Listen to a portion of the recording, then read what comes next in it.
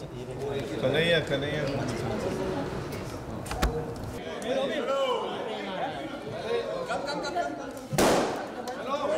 ए छोटू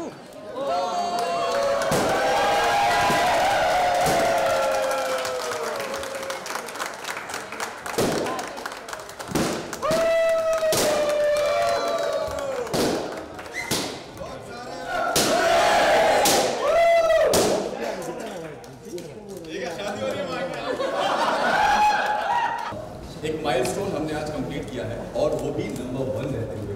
तो बहुत शुक्रिया और हर एक एक से तो शो बनता नहीं है। हर एक उस शख्स का, सारे actors direction team DOP production team एक एक बंदा, चाहे वो स्पॉट में हो, चाहे वो तरापे पे हो, चाहे वो सेटिंग वाला हो, हर एक की मेहनत है। बारह चौदह घंटे हम यहाँ पे काम करते हैं। उसके बाद जब हमें ऐसा फल मिलता है ना तो उसकी बहुत ज़्यादा खुशी होती है। एंड यस लास्ट में आप सब मीडिया एंड जो भी हमारे व्यूअर्स जो देखते हैं मैं हमेशा बोलता हूँ आप हैं तो हम हैं अगर आप हमें इतना प्यार नहीं देंगे तो हम ये माइलस्टोन कभी कंप्लीट नहीं कर पाते। बस इंशाल्लाह दुआ यही है। सौ हुए हैं हज़ार।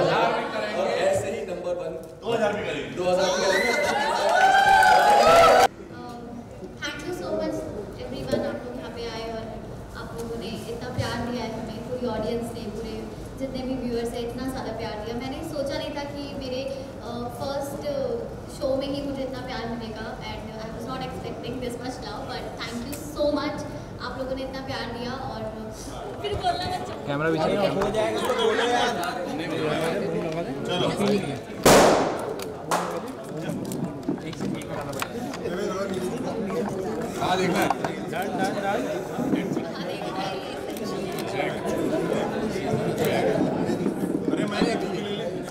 लाइट नहीं लग रहा एपिसोड्स कंप्लीट हो गए हैं। मैं डेफिनेटली जानना चाहूँगी कि यू नो जब ये शो आप लोगों को ऑफ़र हुआ था was the thought process at that time क्योंकि यू नो इतने हंड्रेड एपिसोड्स की जर्नी आप लोगों ने कंप्लीट की है। तो उस वक्त आप लोगों के थॉट प्रोसेस क्या थे?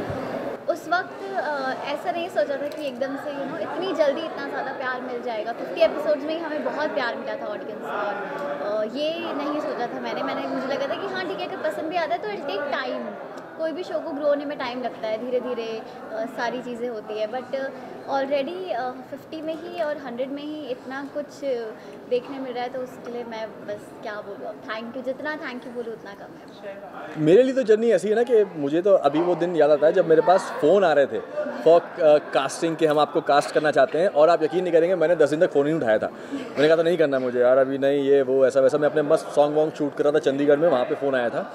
एंड देन फिर ऐसा हुआ, कहते ना कभी कभी कोई चीज़ जो आपकी नसीब में लिखा होता है, वो कैसे भी करके ढूंढ ढांड के आप तक वो पहुँच जाती है। रवि भाई मुझे बहुत फ़ोन कर रहे थे, मैंने नहीं उठाया। एंड देन फिर एक दिन बात हो गई ऐसे, शो की स्क्रिप्ट सुनाई उन्होंने अच्छा लगा। एंड लुक टेस्ट दिया। लुक टेस्ट देने के बाद नेक्स्ट डे बोलते हैं हाँ फाइनल हो? तो मैंने कहा, अरे फाइनल हो क्या? मतलब होते हैं हाँ फाइनल हो, हमें सत्ताईस को, छब्बीस को निकलना है हमें, ऐसा वैसा। एंड देन आज ये दिन है कि हमने सौ कंप्लीट कर लिए एपिसोड और किस तरीके से किए हैं, ये आप सबको पता है।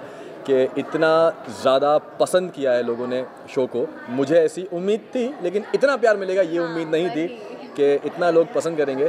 तो जितना थैंक यू बोलूँ उतना कम है। ऐसी मेमोरीज बनती रहे।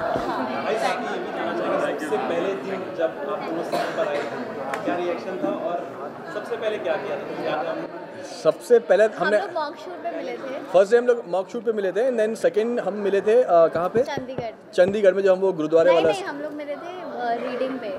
नहीं नहीं सेट की बात कर रहे सेट की बात कर रहे गुरुद्वारे वाला सीन कर रहे थे। और सीन भी ऐसा था कि मैं सीधा आके बोल रही हूँ शादी के लिए हाँ। हाँ वो इकट्ठे हमने तेरह एपिसोड का पहला। हम शूट कर रहे थे तो तो मैं आपको एक चीज़ बताता हूँ कि जब हम मॉक शूट कर रहे थे तो अ, मैं गया and then Ayushi was like please।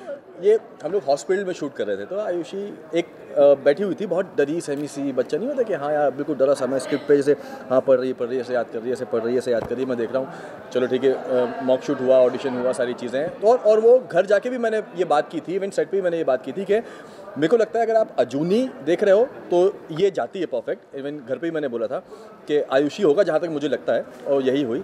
And then हाँ खींच लो भाई तुम आराम से. एंड देन जब हम सेट पे मिले फ़र्स्ट डे तो इसका बिहेवियर ही लगता बिल्कुल.